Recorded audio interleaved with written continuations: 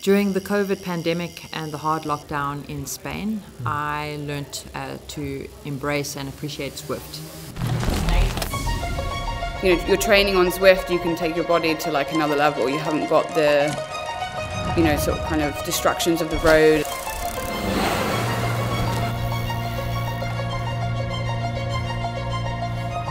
As I started to train regularly on Zwift, doing high intensity interval sessions, my muscles started to adapt um, to the resistance of the indoor trainer and I started to grow in strength. So now I have um, continued even outside of the, the COVID pandemic, irrespective of whether it's good or bad weather.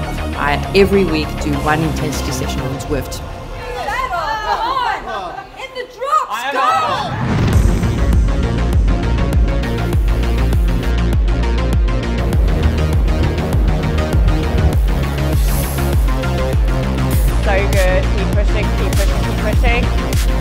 So good.